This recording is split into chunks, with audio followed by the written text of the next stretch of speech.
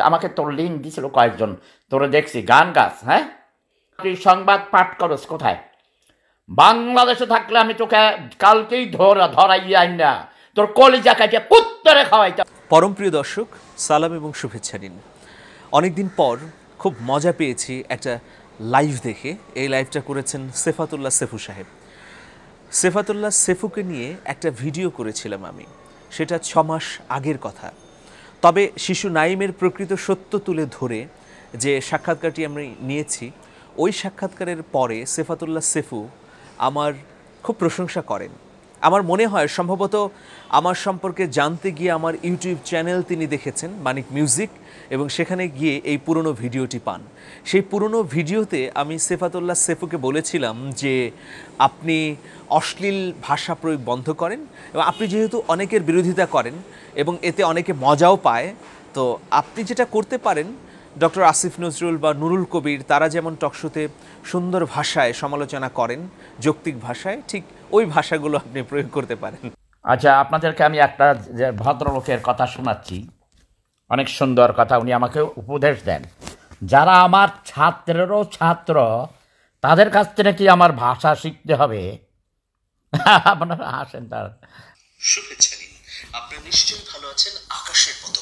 অথবা ভালো আছেন তো আসলে হয়েছে কি, সেফাতুল্লাহ সেফুকে পরামর্শ দেয়া আর রাতভর সাপ ভেবে রশির উপরে বাড়ি দেওয়া একই কথা। তো ওই রকম ঘটনাই ঘটেছে। সেফাতুল্লাহ সেফু আমার ওই ভিডিওটা দেখেছেন, দেখার পরে তীব্র প্রতিক্রিয়ায় তিনি একটা লাইভ করেছেন। এই লাইভে আমি খুব মজা পেয়েছি, কারণ তিনি প্রতিদিন লাইভ করেন। আমার এই প্রসঙ্গটিও তিনি লাইভে এনেছেন, এটা আমাকে মজাই দিয়েছে, বেশ আনন্দই দিয়েছে। এখানে সিরিয়াস হওয়ার কোনো বিষয় নেই যে আমি এতে সিরিয়াস হয়ে গেলাম।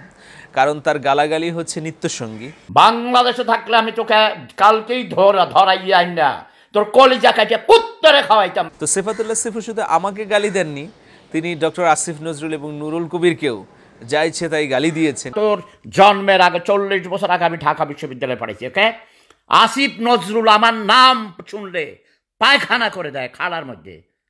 আর নুরুল কবির আমার ছাত্র ছিল। আসিফ নজরুলের মতো রাজাকারের কাছে আমি যাব, ভাষা শিখতে। নুরুল কবিরের মতো রাজাকারের পত্রিকা এডিটর হচ্ছে সোয়ার কমিউনিস্ট পার্টি আরেকটা বিষয়, সেফাতুল্লাহ সিফু, মানিক মিউজিক, তিনি অনেকখানি দেখেছেন আমার মনে হয়। তার কথাবার্তা শুনে মনে হলো যে তিনি মানিক মিউজিকের অনেকগুলো ভিডিও দেখেছেন। সেই ভিডিও সম্পর্কেও একটা ধারণা তিনি দিয়েছেন। এবং তিনি নাম বলতে না পারলেও এটা বলেছেন যে মানিক মিউজিক নামে একটা চ্যানেলের আমি মডারেটর মানিক মিউজিকের তুই মডারেটর কি গিয়েছিস একটা তো লম্বা নাম আছে। তো এই ভিডিওর মধ্য দিয়ে বেশ কিছু পজিটিভ বিষয় বেরিয়ে এসেছে। এক হচ্ছে তিনি মানিক মিউজিক চ্যানেল দেখেছেন।